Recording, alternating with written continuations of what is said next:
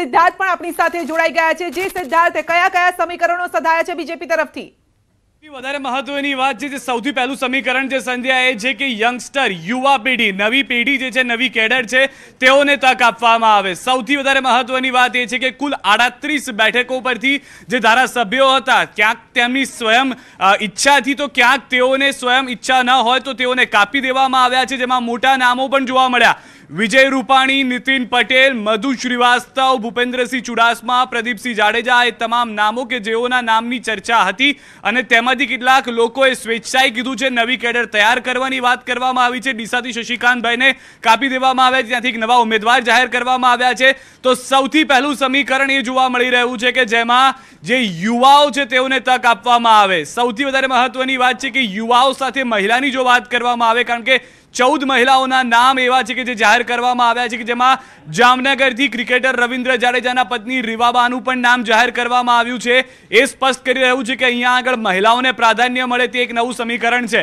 અત્યારના આ બે મહત્વના અને મોટા સમીકરણ કે જેમાં સ્પષ્ટ કરી દેવામાં આવ્યું છે કે જે જીતી શકે તેવા ઉમેદવારો તો છે જ, પરંતુ તેની સાથે સાથે એક નવી બ્રિગેડ તૈયાર કરવાની છે. જે રીતે એક નવું મંત્રીમંડળ જોવા મળ્યું હતું, પરંતુ હવે આ નવા મંત્રીમંડળની સાથે નવા ધારાસભ્યો જોવા મળે, જેમાં જનતાના પણ આશીર્વાદ હોય તે માટેનો આ પ્રયાસ કરવામાં આવ્યો છે.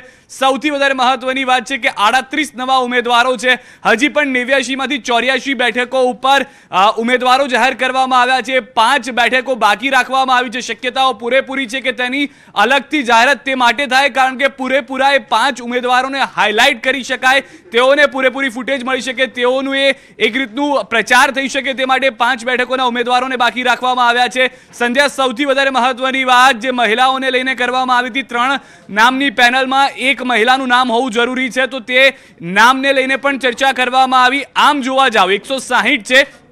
તો અંદાજિત દસ પ્રમાણે સોળ ઉમેદવારો થવા જોઈએ, પરંતુ ચૌદ ઉમેદવારો, દસ મહિલાઓના નામ જાહેર કરવામાં આવ્યા છે. તો આ વધુ એક મહત્વનું સમીકરણ, સંધ્યા. એક તરફ ઉમેદવારોના નામની જાહેરાત થઈ ચૂકી છે એકસો સાહીઠ. પહેલા ફેઝના નેવ્યાસીમાંથી ચોર્યાસી અને તેમાં પણ આડત્રીસ જેટલા કુલ ધારાસભ્યોએ છે કે જેઓને રિપીટ નથી કરવામાં આવ્યા, તેઓના બદલે નવા ચહેરાને તક આપવામાં આવી છે. જીતનો વિશ્વાસ તેઓ ઉપર પાર્ટીએ મૂક્યો છે અને ચૌદ મહિલાઓના નામ જાહેર કરવામાં આવ્યા છે.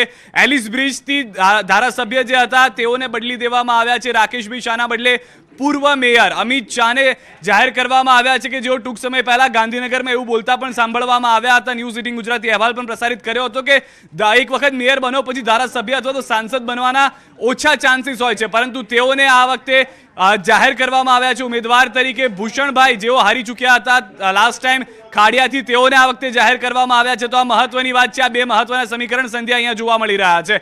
હજુ પણ અપડેટ્સ આપીશું.